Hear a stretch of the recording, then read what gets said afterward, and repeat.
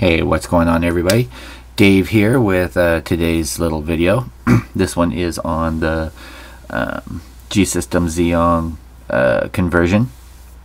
So I've got the head all done up, um,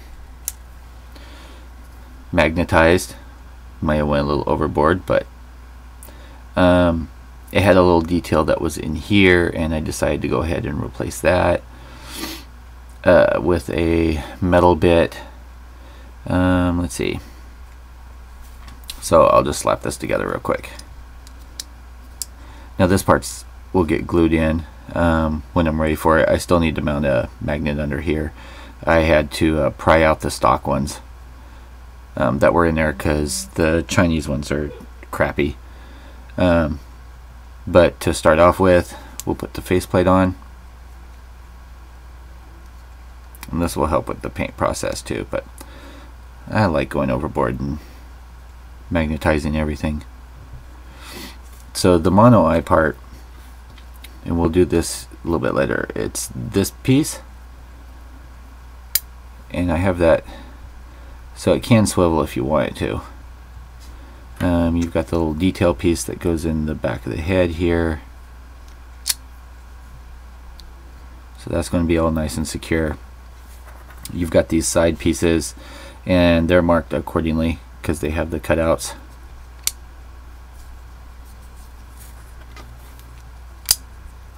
So just like so we have the back panel here which once it's all painted will just get glued into place. You have the overhead piece. Now I did the I drilled out these and I have um, these little bits. And there's going to be uh, one in each side over here, vent, vent uh, bits. So this is all magnetized, so it pops right in. And then, let's see, I haven't put in the clear part, of course, because this still has to be painted. And then we've got the antennas, which are magnetized. So there you have. So focus on it the 1 100 scale Zeong uh, conversion head. It's all done and ready for primer. Um, I'm going to true up these a little bit because there's a couple little dimples in here with their plastic. Um, but I will probably prime this um, tomorrow after work. Um, one of the modifications that I ended up doing now this is the standard light um, I was showing this on Facebook, but this is the standard light that comes with it. And what's absolutely retarded um, about it is if you look here on the instructions, it shows to feed it through the head. Feed it through on, oh, where is it? The neck piece here. You can see right here that there's the two little loops. Um, the negative and positive is supposed to go through each one, but this is all one unit. So you still have to hack it apart to put the lights through to resolder it again to put it in there. So I'm doing away with that anyway um, because this is getting fully lit. Um, what I did is I took from the Gunpla Builders uh, set the the mono eyes.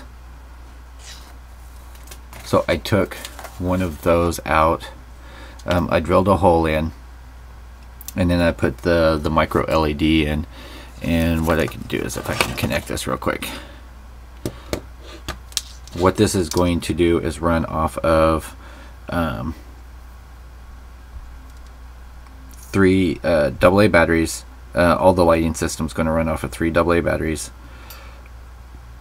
And sorry I'm just kind of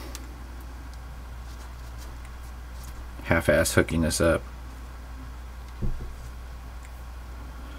trying to anyway just so you can see the light.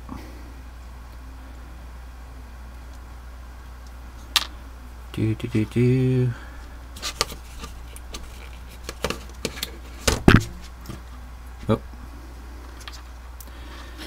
Not supposed to hit the camera. Okay. So you can see that that is super bright. Um, I'll black out the the backside on it and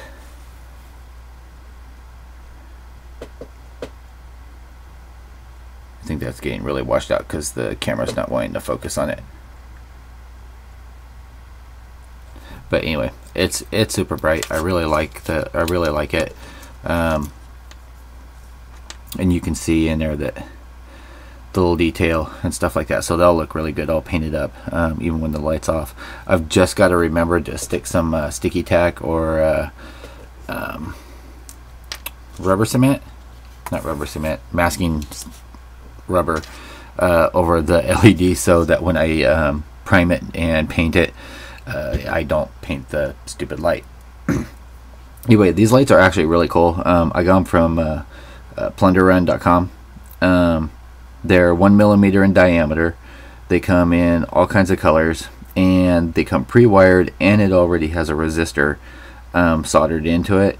So that saves you the hassle. Now with these the downside is the resistor is all the way like kind of far down so if you needed it close.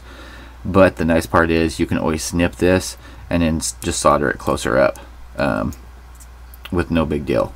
Uh, at least the resistor is there and it's already taken care of so I hope you guys enjoy. Um, stick with me. I'm probably going to start working on the main body next and uh, get that all mocked up and get it ready.